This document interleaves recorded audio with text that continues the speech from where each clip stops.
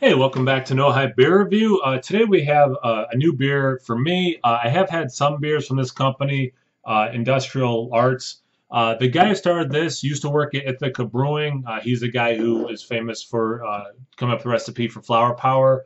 I really like Ithaca. Obviously, I've talked about them a lot. I like Flower Power a lot. I'm going to get some fresh and do a review.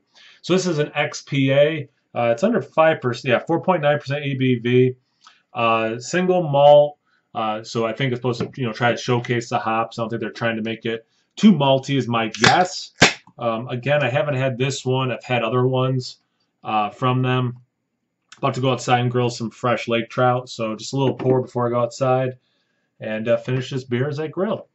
Uh, it's very hot today, um, so it'll be nice to cook outside. Um, this came at a, a, local beer shop, Sam the Beer Man. Uh, my friend Bill went and grabbed a bunch of beer and he was awesome enough to give me a can of each. And um, he's a great beer guy, so thank you, Bill. Uh, props to the beer man for getting something like this in. Uh, definitely looks like a, a light, almost like Pilsner, really. Uh, but definitely, yeah, like I could see how it's a, a pale ale or extra pale ale. Um, the carbonation went away, or the uh, head went away pretty quick. Carbonation's decent. let's get into the aroma.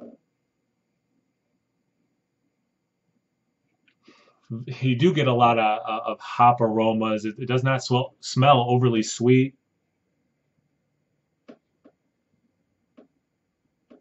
I get some berry, like strawberry specifically. Some citrus. Making a mess. I haven't even had a drink yet today. It definitely had citrus, some peel, grapefruit, lemon, a little bit of sweet, but more like the grapefruit lemon side. There is some sweetness there now that I smelled it for a while. It smells like really good. Definitely smells like a pale ale. Uh, let's get into the taste. Cheers.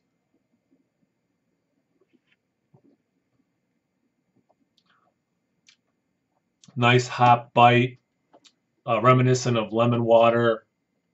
Definitely those citrus notes a little bit of tart, um, like strawberries. So that, that does come through in the taste.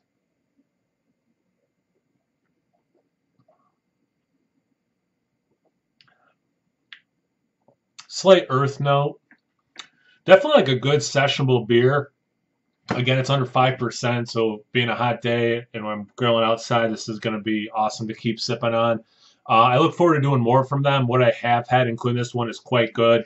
Um, I was just at Prison City over the weekend. Uh, I was kind of off the grid, hence me not posting a lot of videos lately. And I uh, went to uh, Prison City, and they had a collab, was it? They had one of theirs because they do like uh, a guest taps and their own taps. I want to say they did a triple IPA. No, that no, no, man. I think of a different beer. What I forget what they had. Anyway, it was quite good, whatever it was. That was the AleSmith and Pizza Boy who had a triple IPA. Anyway, uh, I've had a couple other ones. Good for the style. This is quite good, very tasty. If you like that hop uh, bitterness, not overly bitter, but it's not like one of those New England juice bomb kind of things. So if that's all you're looking for, steer clear. You like, like a nice um, uh, light bitterness, uh, refreshing kind of a beer, hot summer day. This is a winner.